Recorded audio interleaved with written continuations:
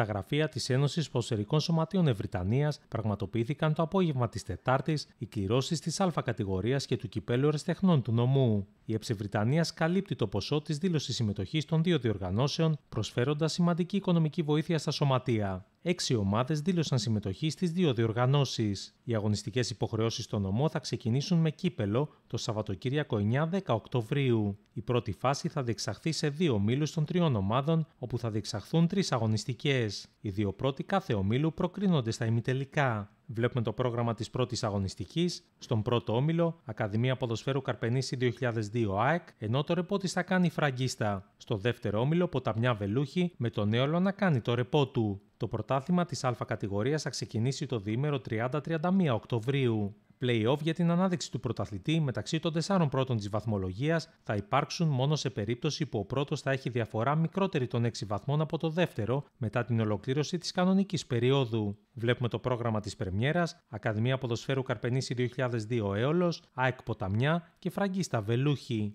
Καλή ποδοσφαιρική χρονιά με υγεία σε όλους σε αυτή την uh, ιδιαίτερα δύσκολη εποχή.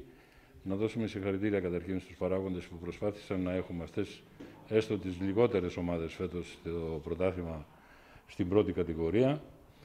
Ε, εμείς θα είμαστε δίπλα στις ομάδες όπως ήμασταν μέχρι σήμερα. Θα είμαστε συνέχεια εκεί, κάθε Κυριακή στα γήπεδα. Ευχαριστούμε πάρα πολύ τους παράγοντες που πραγματικά προσπάθησαν ιδιαίτερα φέτος για να ανακατεβάσουν τις ομάδες στο γήπεδο. Σίγουρα είναι πιο δύσκολα γιατί τα έξοδα είναι περισσότερα, αλλά και σε αυτό το κομμάτι η Ένωση θα είναι πάντα κοντά, θα είναι δίπλα.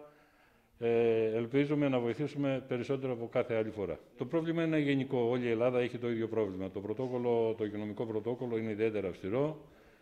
Πρέπει να τηρηθεί, θα τηρηθεί.